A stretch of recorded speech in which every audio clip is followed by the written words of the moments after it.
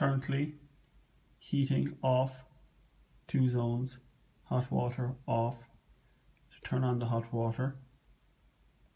Hot water is off. Hot water is timed. Hot water is on. Heating is off. Heating is timed. Heating is on. Press the return button. Heating is on pause. Waiting to come on sorry hot water is paused. Heating is on weather comp.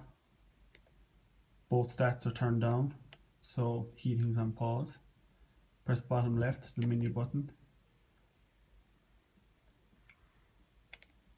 Hot water is in eco hot water is in normal. Press the return. Heating. Heating is on weather compensation. Heating is on a fixed temperature we want to go weather compensation return return.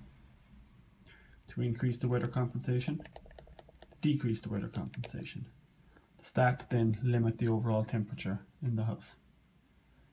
Play button has come on for hot water. Hot water will now come on.